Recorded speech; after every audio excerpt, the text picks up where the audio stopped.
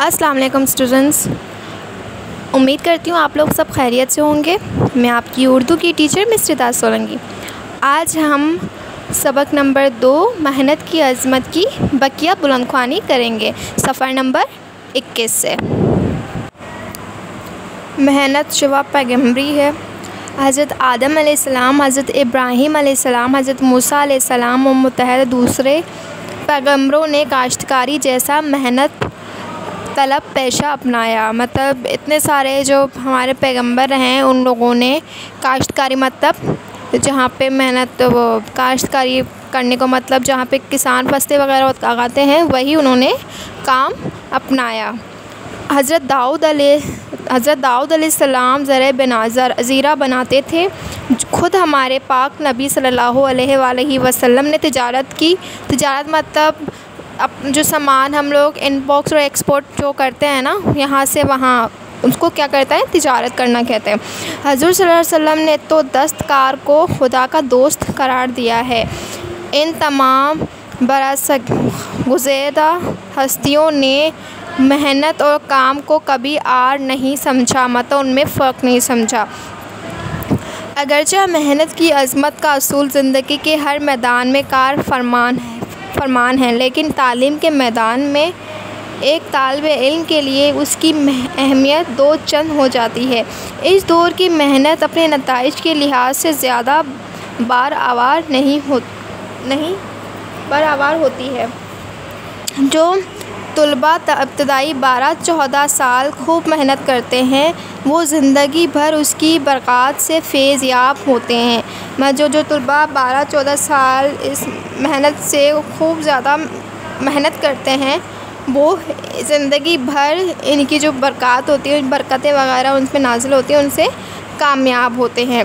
और जो कोई इस सुनहरे दौर में मेहनत से जी चुरा कर वक्त ज़ाया कर देता है मतलब जो जो जो कोई भी मतलब इस सुनहरे दौर में, इस अच्छे दौर में मेहनत से जी चुराता है और अपना सारा टाइम ज़ाया कर देता है वो उम्र भर ठोकरे खाता है, वो उम्र भर क्या करता है, ठोकरे मतलब वहाँ से वहाँ भटकता रहता है। याद रखें, कुछ बनने के लिए कुछ सुनना पड़ता है।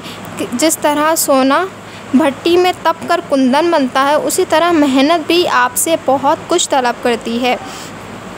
दौर हाजिर में तहरीक याफ्ता, ममालिक पर एक नज़र डालें। अमरीका, जापान, जर्मनी, चीन के बाशिंदों ने इल्म हुनर सीखने में किसी दर्जे में भी कोताही नहीं की, जिसका नतीजा ये निकला निकला कि न सिर्फ़ उनका मैार ज़िंदगी बुलंद हुआ, बल्कि उनके शब रोज़ की मेहनत से मुल्क का वक़ार भी बुलंद हुआ। दुनिया की सभी नामवर शख्सियतें मुँह में सोने का चमचा लेकर पैदा नहीं हुई थीं, बल्कि उनसे ये मकाम, मेहनत और कोशिश से हासिल किया है। कायद अज़म मोहम्मद अली जिना बचपन ही से मेहनत के आदि थे। एक दफ़ा वो रात गए तक पढ़ रहे थे कि उनकी चच्ची की आँख खुल गई। उन्होंने कहा, मोहम्मद अली, काफ़ी देर हो चुकी है, अब सो जाएँ। मोहम्मद अली ने जवाब दिया, अगर मैं मेहनत नहीं करूँगा तो बड़ा आदमी कैसे बनूँगा? और अल्लाह ताला ने उनकी मेहनत का ये समर दिया, ये फल दिया कि हमें उनकी मेहनत की वजह से आज़ादी की नहमत मिली। आज हमारा फ़र्ज़ है कि अपने लिए और आने वाली नस्लों की खुशहाली और इज़्ज़त वक़ार के लिए दिल लगाकर मेहनत करें। उस्ताद मोहतरम ने इमाम राज़ी Jalaluddin Rumi, Sheikh Saadi, Imam Abu Hanifa, sir Syed Ahmad Khan, Shibli Nomani, sir Syed Sulaiman Nadvi, Allama Iqbal और बहुत सी दूसरी नामवर हस्तियों का ज़िक्र भी किया, जिन्होंने सितारों पर कुमंदें डालीं।